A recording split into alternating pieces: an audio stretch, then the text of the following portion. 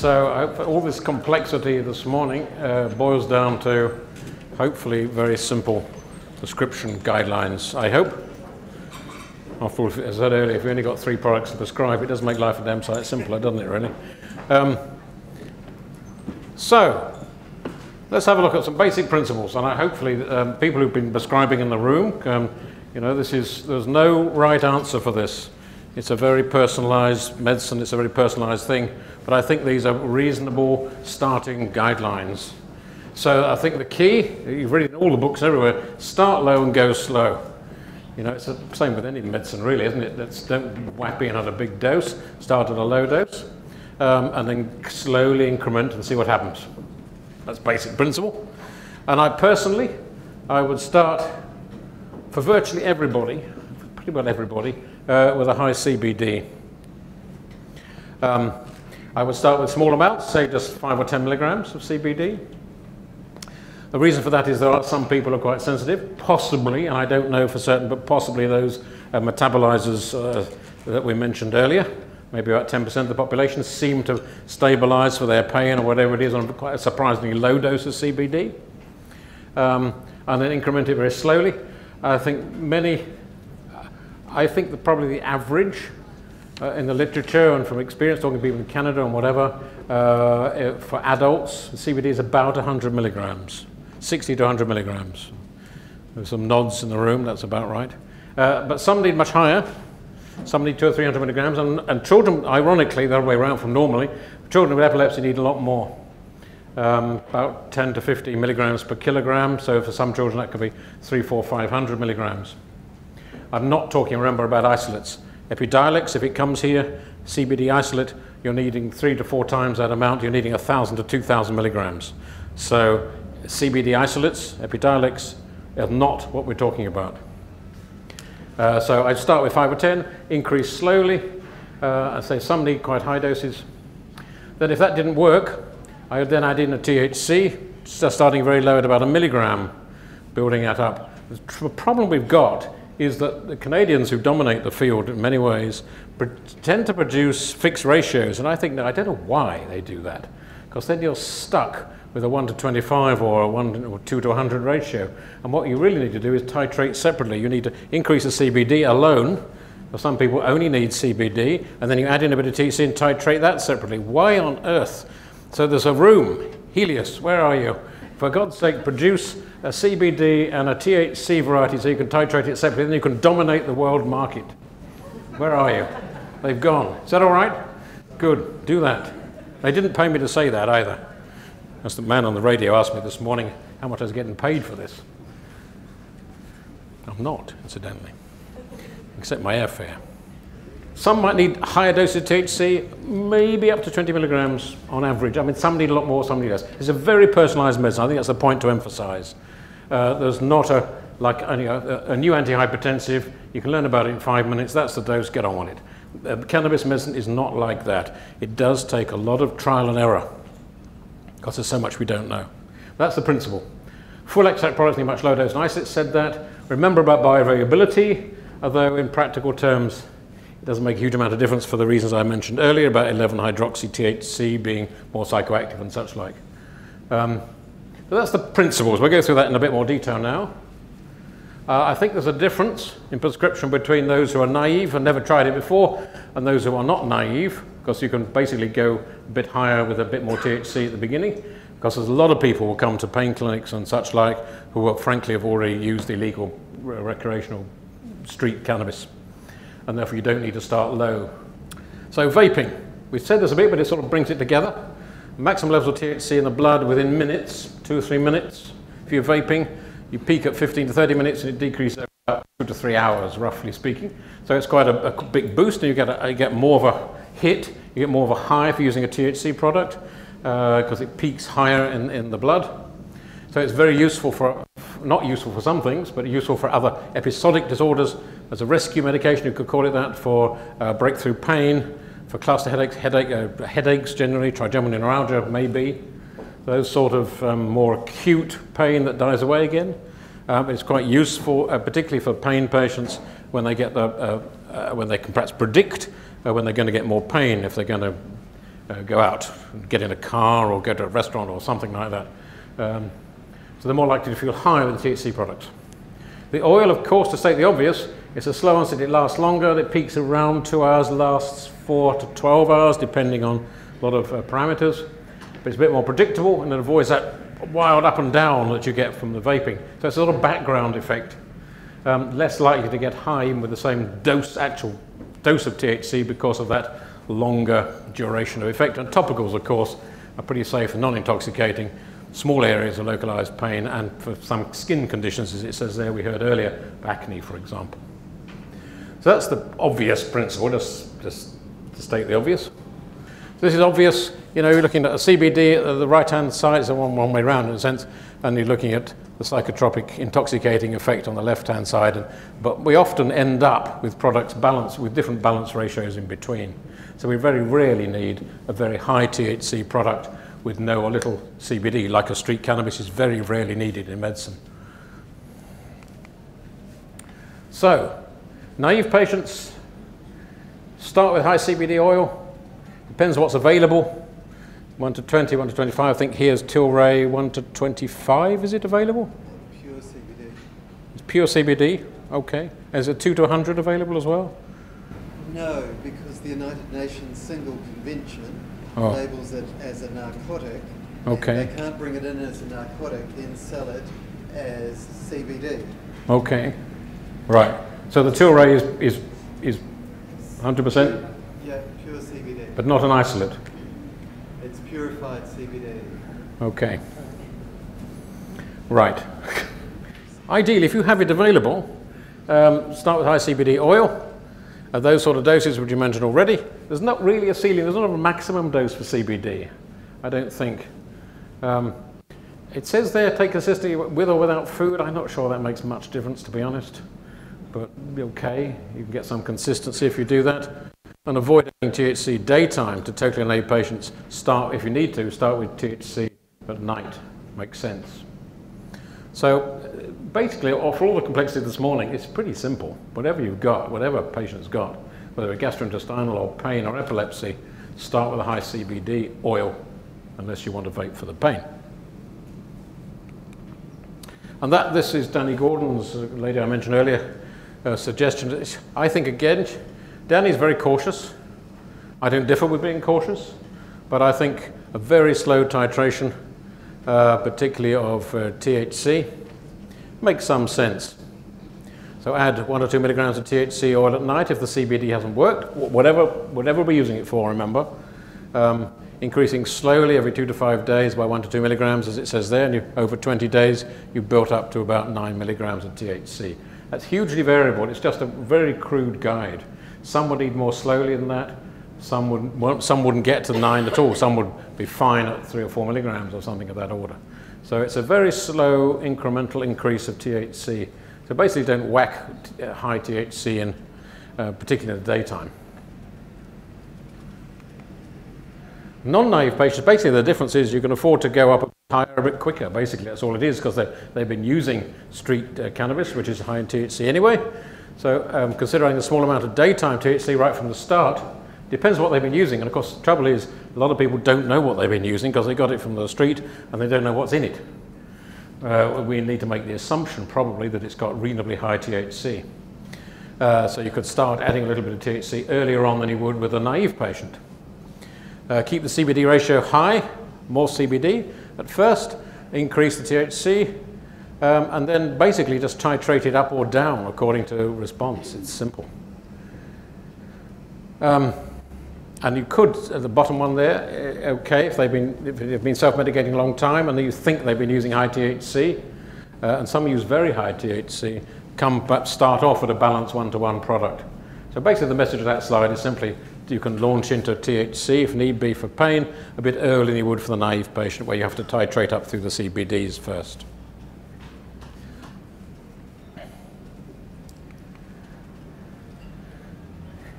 There's a difference. I mean, a lot of the Canadian producers say they've got sativas and Indica strains. A sativas uh, high THC or high CBD or whatever it is. Is there probably is a bit of difference, probably. Um, maybe one should use indica strains for if they're available, and I'll, I'll, show you an example of what's available for one of the big uh, manufacturers in a moment, you should try an indica strain at night because it's more sedating and therefore more appropriate at night. If you try a sativa strain at night, it could keep them awake because it's more alerting.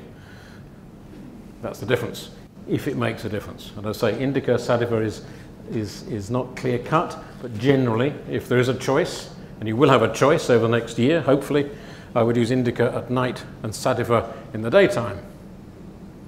Uh, low in myrcene, myrcene is very sedative, and again, if you want a nighttime sedation or for help pain at night, then using a high indica with as high in myrcene, that terpene that's quite sedative is quite useful if the company tells you what's in it. And a lot of the companies don't give you a terpene profile, which is not helpful. I think everyone, and I think if I was encouraging the New Zealand regulators, I would say that for God's sake, um, make sure that what's on the label is what's in the product and, and force people to say what's in it. Uh, so we know the cannabinoid profile. Even if it's a tiny little bit of CBC or CBG, tell us. Then we can learn. And tell us what the terpenes are, because they're really important. Tell us what's in it. And a lot of people just don't. It's all very well me saying, find an indica strain high in myrcene, but actually, in practical terms, most of the manufacturers in Canada, uh, you won't know what's in the damn stuff. You can insist on a certificate of analysis, and I, in the early days I would. We have got some products in the UK now, which I'm refusing to prescribe until they tell me what the terpene profile is. They can do that. It takes less than a day. Just send it to a lab that does these things and you get a terpene profile back. So we need to learn from this. Uh, so I would be a bit robust about saying, I'm not using this product, you tell me what's in it. And then we can learn for this, this sort of patient, maybe need a high myrcene. For that sort of patient, it might need a high linalool for epilepsy. We don't know that, so let's, let's force people to tell us.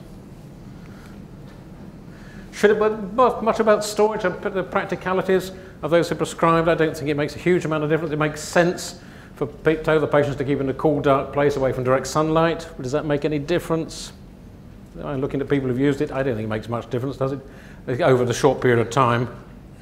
It might, um, said, it's said in theory not to put the flower in a plastic bag, as pinene and limonene and solvents can dissolve the plastic. Mm, we don't know. It's theoretical. Okay. Um, keep it in an airtight container. Uh, is lost first. So again, it depends on how long you've stored it. It's slightly different product from day one to day 90. But hopefully, if you prescribed in the right dosage, it's all going to be used fairly quickly anyway. So THC degrades.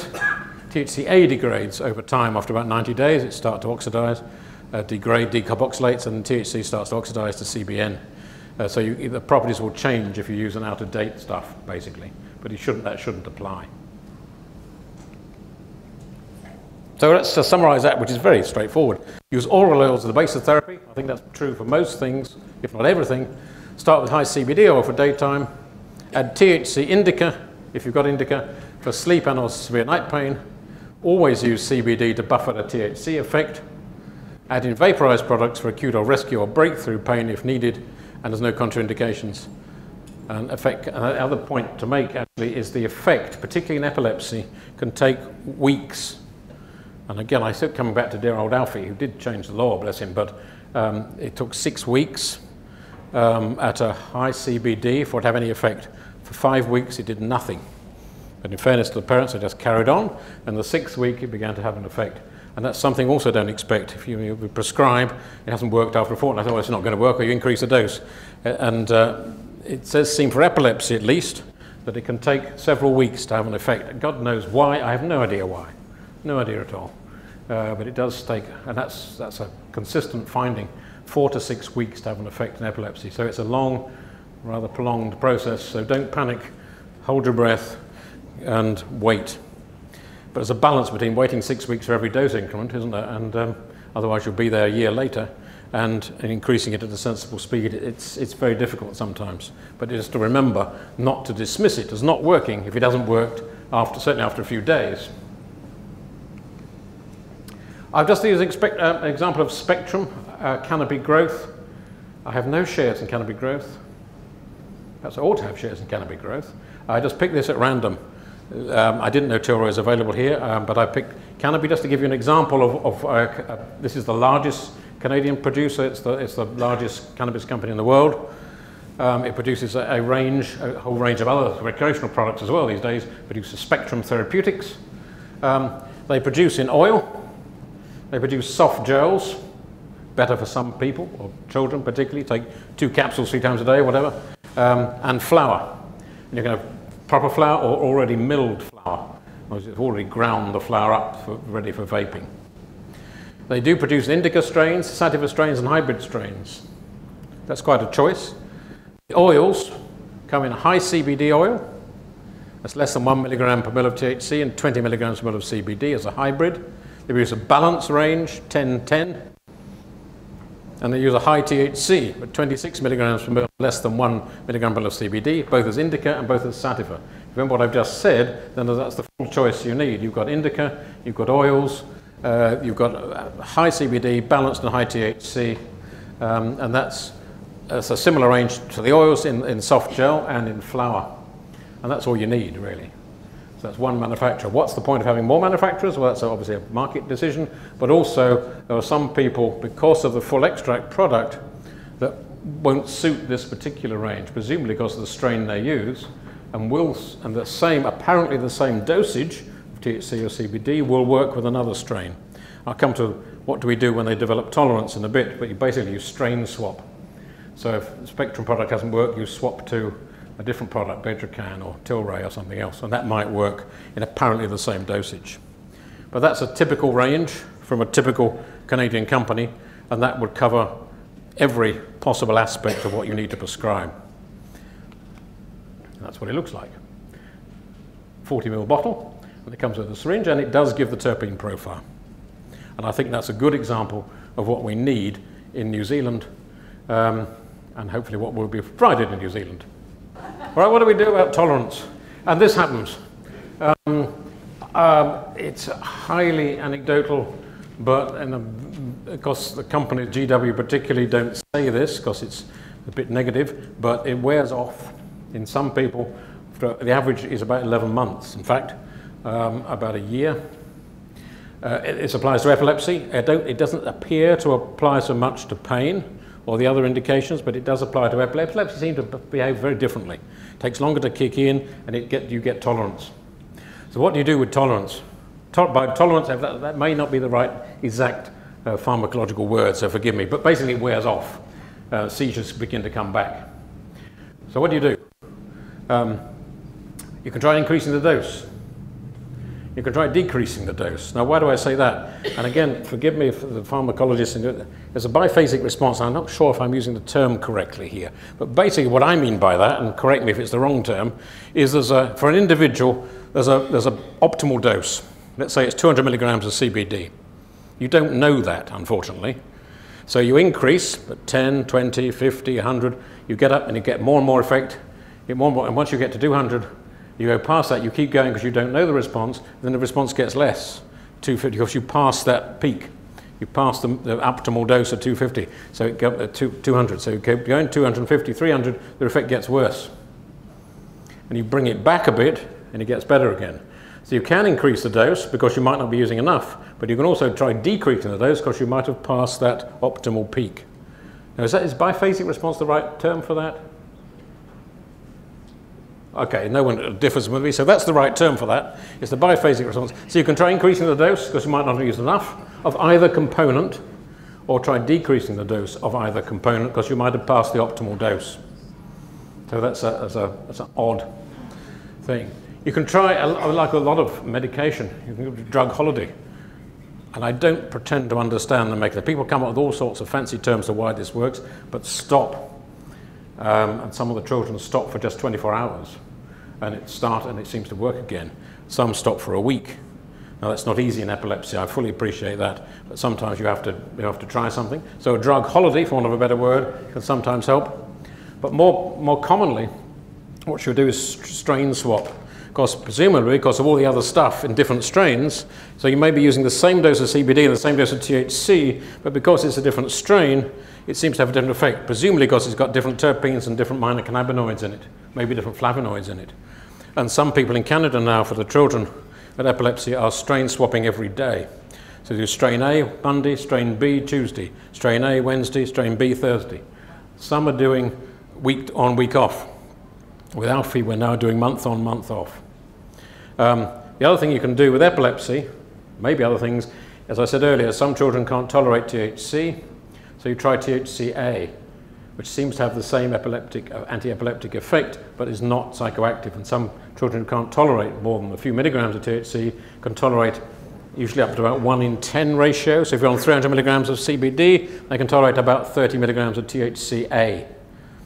So there are, uh, there are manufacturers, uh, one, Aurora, who produce a THCA strain.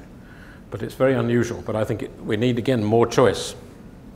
Um, THCA is very difficult to extract because it needs to be extracted cold, and that's not easy. If the extractor's in the room, it's not easy to get a, a stable THCA that doesn't break down to THC.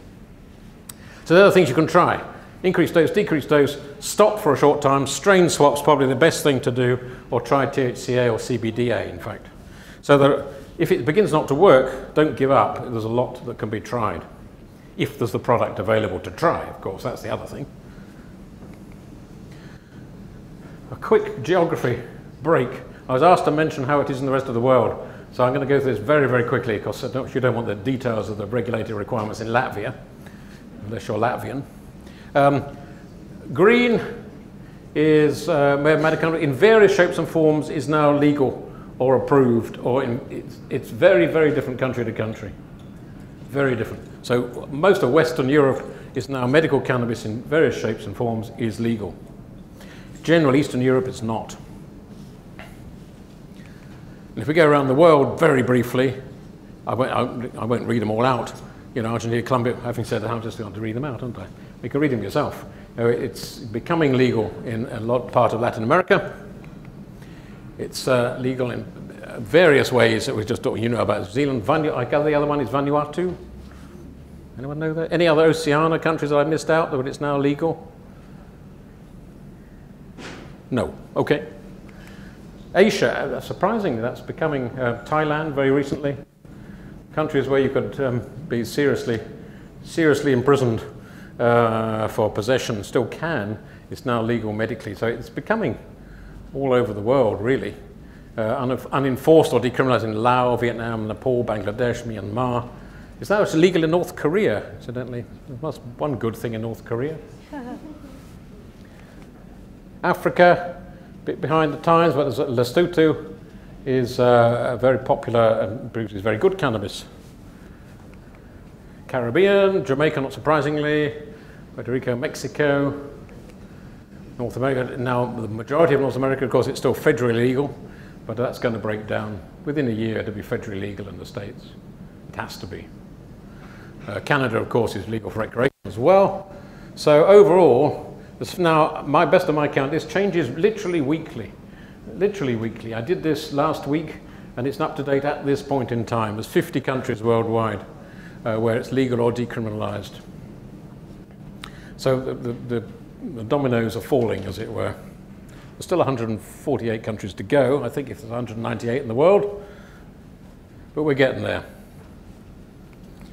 Um, the other thing, briefly to mention, because it is actually quite important, is travel advice. When you can prescribe it here, can you, you've got to be careful about advising people. Uh, it doesn't necessarily mean you can travel with it. You can't enter other, some other countries with it where it's illegal, not surprising, even if you've got a valid New Zealand prescription. And the other thing is to remember transit points. And in the UK, we use Dubai a lot for transit, for international connections, and it's illegal there, CBD as well as THC. So, you know, strictly speaking, you can get imprisoned in Dubai if you pass through with it, even if you're transiting from one legal en entity to another legal entity. So people need to know that, need to take that risk um, if they want to take the risk, but they need to know the, the truth of the matter. So that's just an important point to remember. Uh, holiday advice is quite uh, common to, to ask and need to know where they're going and where they're going through. Uh, this is one slide before I move on to the case report things, how we're doing, yeah. Uh, this is just mentioned a bit. I don't know if it exists. Uh, some say it does. Clinical endocannabinoid deficiency syndrome. I just threw this in here. It's not. In, it's out of place really, but I couldn't think where else to put it. Uh, basically, there's a thought that the endocannabinoid tone may be reduced, and it's associated with IBS, um, uh, chronic fatigue syndrome. What the hell does FMS stand for? Thank you very much. Thank you very much. I've forgotten what it was. Migraine and depression. Um, and some would say those are linked together. Probably true. Uh, as a sort of a, a clinical endocannabinoid syndrome, if you like. I'm not sure. I just put that in because, because it's in the exam. So let's have a look at a few cases. You can tell me there's about five of these and I've finished. These are real cases from my colleague uh, Dani Gordon. So let's have a look at Dave. He's a 55 year old male. He has absent seizures and traumatic headaches, traumatic, post-traumatic headache, I should say, after he had a brain injury when metal scaffolding fell on his head. He has memory, typical brain injury, memory issues, uh, fatigue. He's a naive user, he hasn't used cannabis before. And the other drugs he's on, which I won't go through, but note clobazam, maybe, is the one to note. So what would, uh, I could ask you, I suppose, it's just, just to emphasize this is quite easy, what would we use for this guy? What was used for this guy? Anyone to tell me? Well, I'll tell you. We started, it's all the same, so it doesn't get, it gets easy. Uh, start on a low dose CBD, you started on a 20 to 1 ratio, uh, 20 milligrams of CBD to 1 milligram THC, because of this ridiculous fixed ratio business in Canada, um, or for daytime use.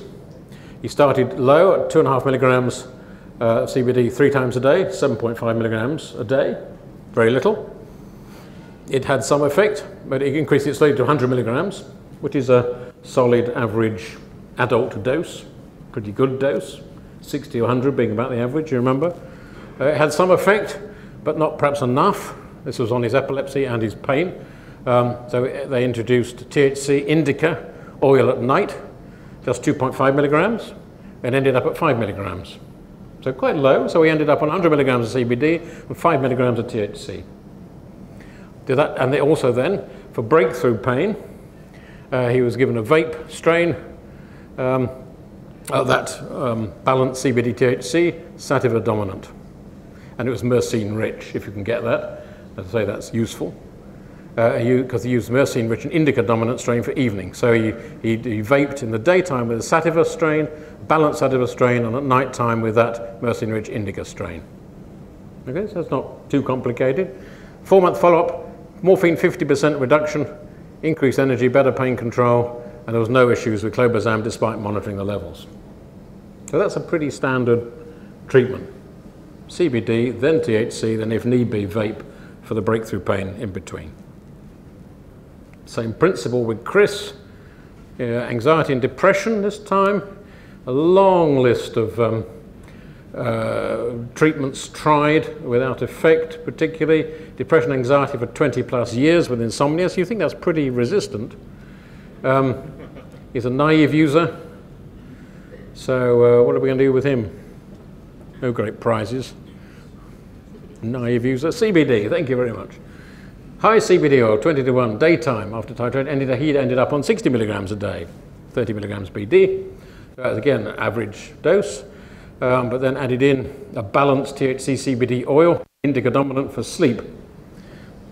And he averaged 10, 15 milligrams of THC and therefore 10 milligrams, 15 milligrams of CBD. Simple, that's all he had. Oil in the daytime and a slightly, uh, a little bit of THC in the evening. And that produced a dramatic reduction in anxiety and depression. He was sleeping eight hours most nights, no side effects at all. He was able to pick up a hobby of golfing and was too depressed to commit to any regular activities. So again, these are all success. So you would not be surprised that these are success stories. I'm going to, going to put up those that didn't work. Uh, but these are, it just gives you an idea of, of, a, of a treatment plan. Yes? He's an experienced user. Difference. That's the only difference here. He's an experienced user opioid dependency, chronic pain, uh, visited three young children, disability workplace, injury, pain was unmanageable, visibly depressed. Okay? But the difference is he's used street cannabis. What do we do with him? At a, come over here, I can't, it's too close for me. Again, high CBD oil, Right, so they started at 20 milligrams. So we started higher, 20 milligrams BD, started at 40, went up to 120 quite quickly. At the same time, adding in a THC indica oil before bedtime, starting at two and a half milligrams at night, soon up to 10 milligrams. So basically, the only difference, same principle, but you go higher quicker and add in THC much earlier. That's all it is, because he's used to it. Uh, then they added a THC sativa oil mixed into the daytime CBD dose.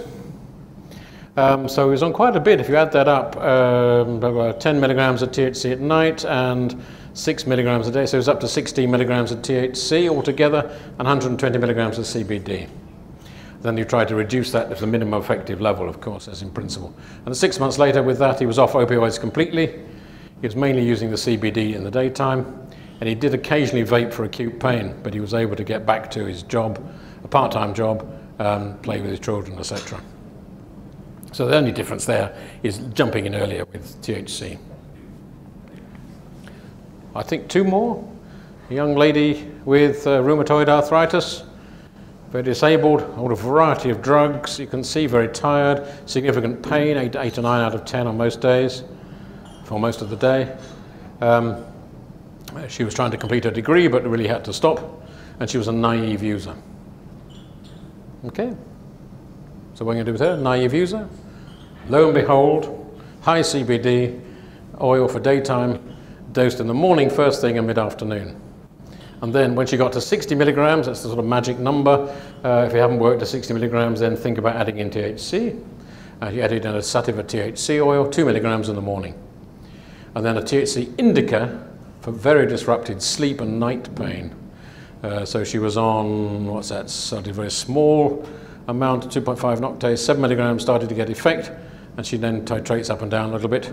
She keeps under 10 milligrams at night, not used every night. So there's a, there's a personalized, you can, you know, needn't be rigid about this. People can adjust it according to their symptoms over, over a, a few weeks or a few months or whatever. Um, so that's again fairly average, and that worked with her. She was able to go back to school, her sleep was improved, her pain had decreased, no side effects particularly, and had not needed steroids for the first time in years. Any more? No. So you get the principle. I didn't want to label the point. So actually, despite all that complexity this morning, it comes down to relatively simple CBD come THC until we have more products available. Right, I got about two minutes. Um, I was asked to put in something about the UK medical cannabis clinics, changing the topic again. Um, this may not be relevant to you, but we've set up three clinics now uh, we have a referral from, uh, from anyone, GP hospital consultant.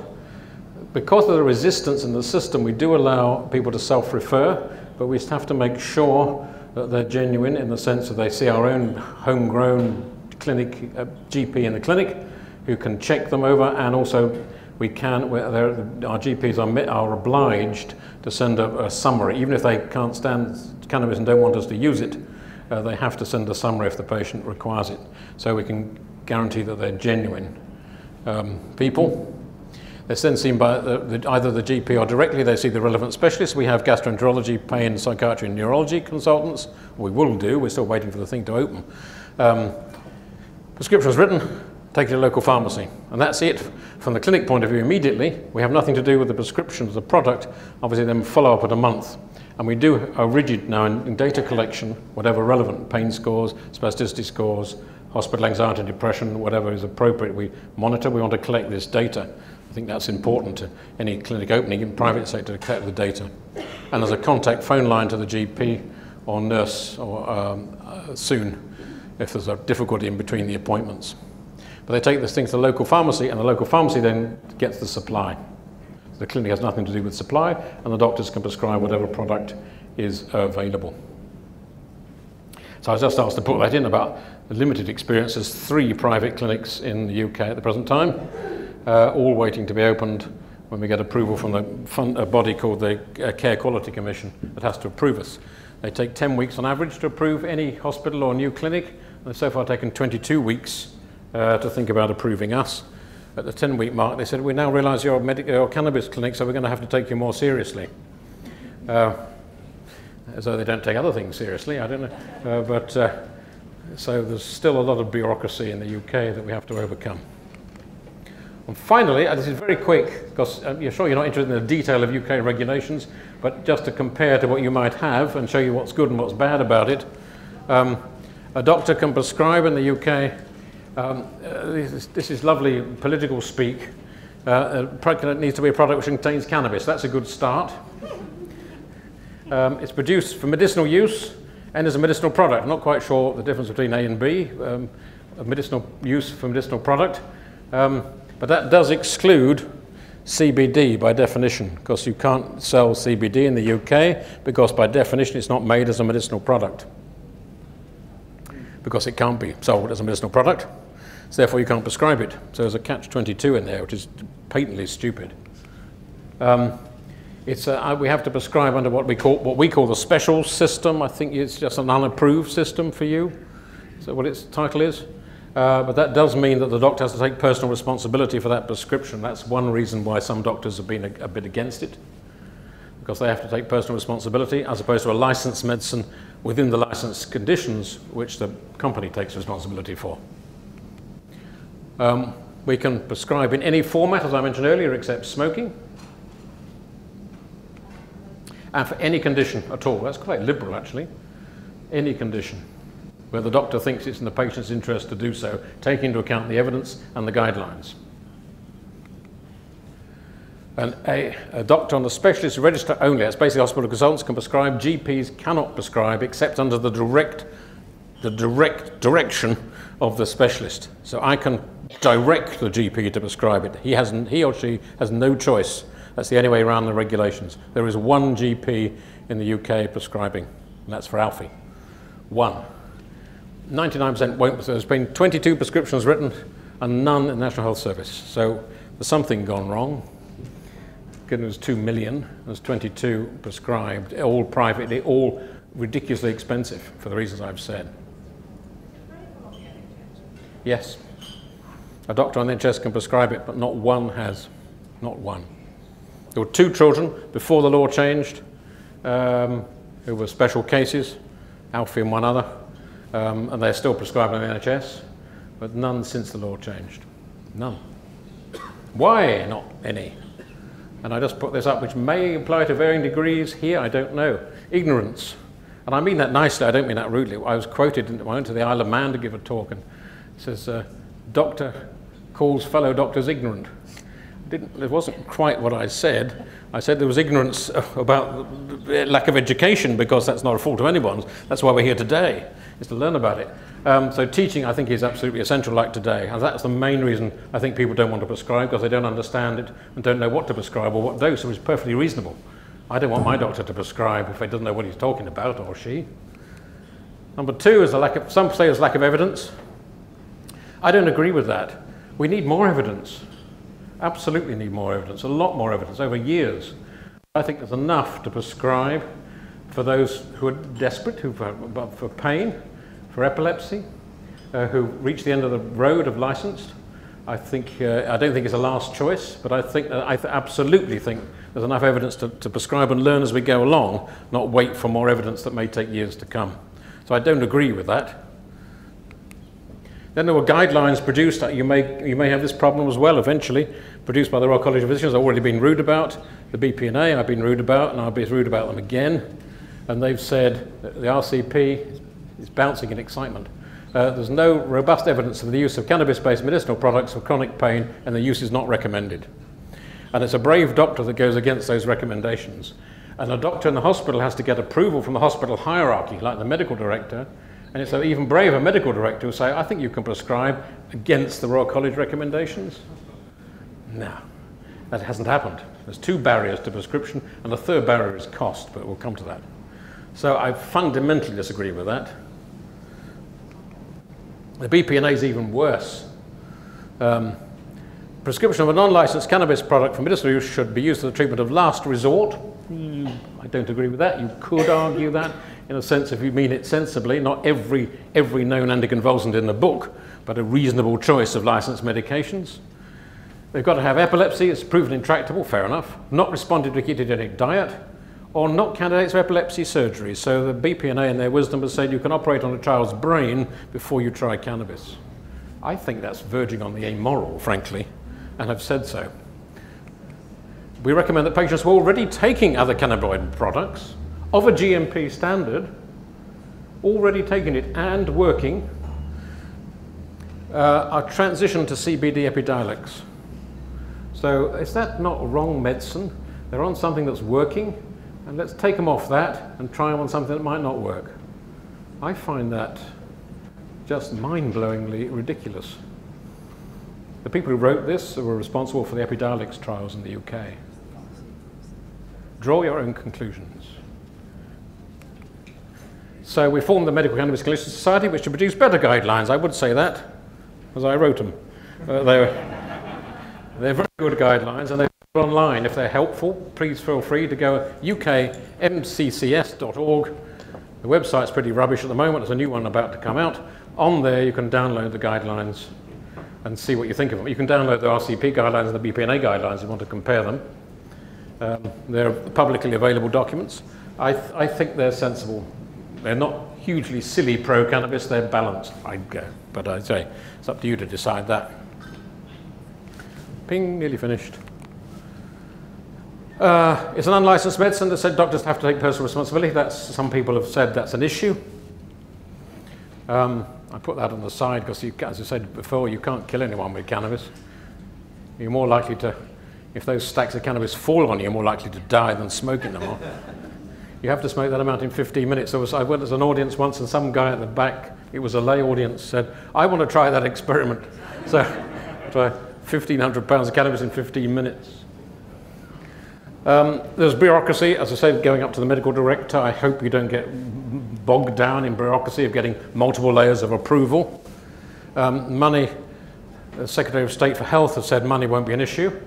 Uh, that was wrong in typical politician fashion. Uh, money has now prevented two children being prescribed who got through those previous barriers. And the people paying for it, called the clinical commissioning groups, have said no. Um, we're just about to change the Secretary of State for Health, probably today. So God knows what the new one will say. So that's another reason. Um, we've got a dreadful supply chain, as I mentioned already, individual importation. I hope you don't have that problem. And we've got the very muddly hemp-derived CBD non-medicine medicine issue, which is a complete mess. And you know what is because it's not a mess, it's not controlled. Often what's in the bottle is not what's in the bottle. People have shown that. There was one uh, in a there's a very well-known chain in the UK called Holland and Barrett, and they were selling a medicine that was 20 times the allowed level of THC. It quickly went off the shelves. People would buy it quick. Uh, so there are other points that are minor and probably just relevant to the UK, in fairness. So what do we need? Education. We need accessibility of the evidence. We need better guidelines, less restrictions, and include GPs. I'm very keen on, we should must include GPs. And I think the whole thing needs to be controlled because of a different way of looking at evidence, a different way of looking at regulation by something equivalent to an Office of Medicinal Cannabis. And I think in the regulations that was going to be proposed, if I'm right, uh, something equivalent in, the, in New Zealand. Uh, so I think that's necessary because it doesn't fit into the pharmaceutical model, as I've said several times. So that's what I'd like to see eventually. Proper pharmacies, staffed by knowledgeable people. I don't think we have to over-medicalize this, to be honest. Um, you know what they're talking about? The Canada, they call them bud tenders, I think is a great name. Um, people who know what they're doing. And why not, if they know what they're doing, to advise people on the subtleties that we've discussed today. A bit like Apple stores, aren't they? And there, I just saw that I should have put Boris Johnson there, shouldn't I? But he hasn't said anything useful. Ever about anything. Um, but uh, Trump said that. He probably tweeted that at three in the morning and forgotten he'd done it, but that's what he said, so I'll, I'll keep to him. That's the only good thing about him, um, I think. And I suppose I'd like to see eventually him coming along the lines of his, um, his predecessor, George W. So I think, ladies and gentlemen, yeah, that's all from me. Thank you.